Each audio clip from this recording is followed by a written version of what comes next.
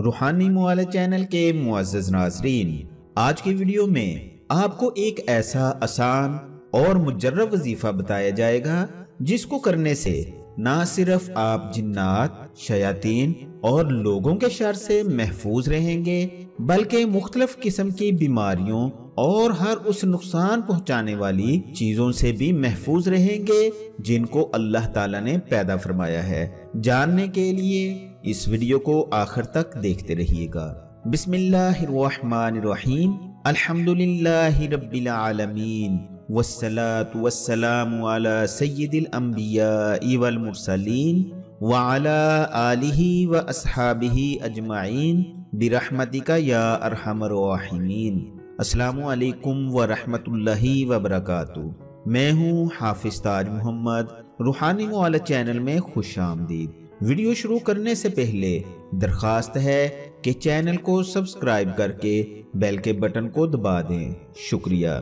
खातिन हजरात, हर इंसान को अपनी हिफाजत की ज़रूरत रहती है, अपनी इस ज़रूरत को पूरा करने के लिए इंसान मुख्तलफ हथियारों और बॉडी बॉडीगार्ड्स का सहारा लेता है, जिस पर महाना हज़ारों रुपया खर्च आ जाता है। लेकिन ये हथियार और बॉडी बॉडीगार्ड्स भी हमारे जाहरी दुश्मनों और नुकसान पहुँचाने वाले लोगों से एक हद तक ही हमारी हिफाजत कर सकते हैं। ये हमें मुख्तलिफ़ किस्म के हशरातुल अर्ज़, जैसे मच्छर, सांप, बिच्छू वगैरह से नहीं बचा सकते। अगर इन सब चीज़ों से एक हद तक ये गार्ड्स हमारी हिफाजत कर भी लें तो ये हमें जिन्नात, असेब, शयातीन वगैरह से तो बिल्कुल भी नहीं बचा सकते।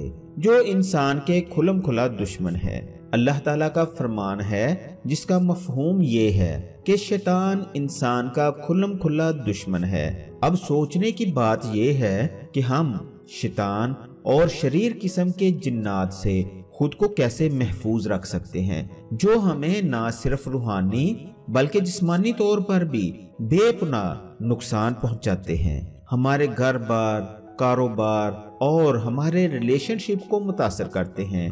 मियाँ बीवी, बहन भाइयों के दिल में वसवसे डालकर एक दूसरे के साथ लड़ाई झगड़ा करवाते हैं। लोगों को ला इलाज और पचीदा किस्म की बीमारियों में मुबतला करने का सबब भी बनते हैं। हमें दीन से नमाज़ से, कुरान पाक की तलावत से और हर अच्छे काम से दूर रखते हैं और इन जिन्नात और शयातीन से महफूज रखने के लिए भी अल्लाह ताला ने हमारे लिए इंतज़ाम फरमाया हुआ है।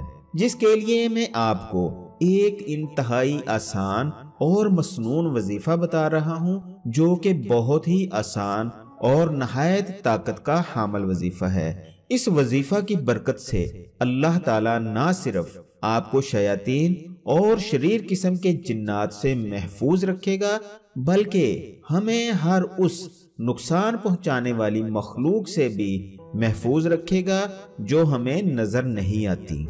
इसके अलावा इस वजीफा की बरकत से हम मुख्तलिफ़ किस्म की बीमारियों और पचीदा किस्म के इमराज से भी महफूज रह सकेंगे। वजीफा का तरीका समझ लीजिएगा, जो कि नहायत ही आसान है। रोज़ाना सुबह फजर की नमाज़ के बाद इस वजीफा को अव्वल आखिर दरूद पाक पढ़कर, दरूद पाक चाहे तीन बार पढ़ लें, सात बार, ग्यारह बार, या जितना भी आपका दिल चाहे पढ़ सकते हैं। दरूद पाक पढ़ने के बाद इस वजीफा को बिस्मिल्लाहिर्रहमानिर्रहीम बिस्मिल्लाहिल्लज़ी ला यदुर्रु मआ इस्मिही शैउन फिल अर्दि वला फिस समा वहुवस्समीउल अलीम। इसी तरह ग्यारह बार पढ़कर अपने दोनों कांधों पर, पहले दाएँ कांधे पर, फिर बाएँ कांधे पर दम कर लें। इसके बाद अपने हाथों पर दम करके अपने हाथों को पूरे जिसम पर फेर लें और कहें ए अल्लाह, मैं तमाम शरीर किस्म के जिन्नो, इंस और ऐसी तमाम मखलूक से जो मुझे नुकसान पहुँचा सकती है, तेरी पनाह में आता हूँ। ए अल्लाह, ऐसी तमाम नुकसान पहुँचाने वाली मखलूक से मेरी हिफाजत फरमा।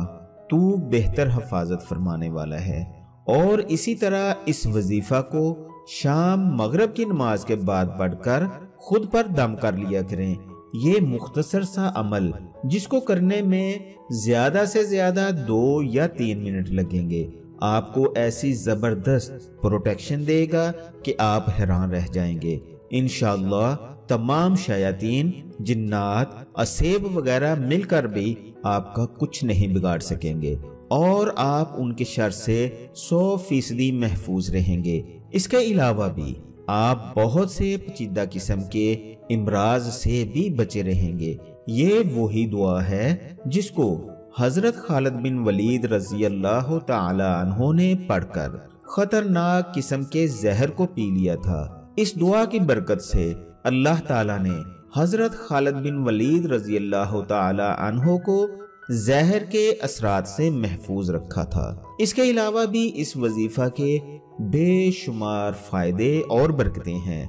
आइंदा किसी वीडियो में बताऊँगा कि इस वजीफा को आप कहाँ कहाँ और कैसे इस्तेमाल में लाकर इसकी बरकतों से मुस्तफीज हो सकते हैं। इस वजीफा को करें खुद को और अपने घर वालों को महफूज रखें। इस वजीफा से जितना हो सकता है फ़ायदा उठाकर अपनी दुआओं में मुझको याद रखें। उम्मीद है आपको ये वीडियो पसंद आई होगी। इसलिए इस वीडियो को दूसरे लोगों के फ़ायदे के लिए लाइक और शेयर ज़रूर करें। मजीद रहनुमाई के लिए कमेंट्स करें या दिए गए नंबर पर व्हाट्सएप करें। अगली वीडियो तक के लिए इजाज़त चाहता हूँ। अपना और इर्द गिर्द के लोगों का ख्याल रखिएगा।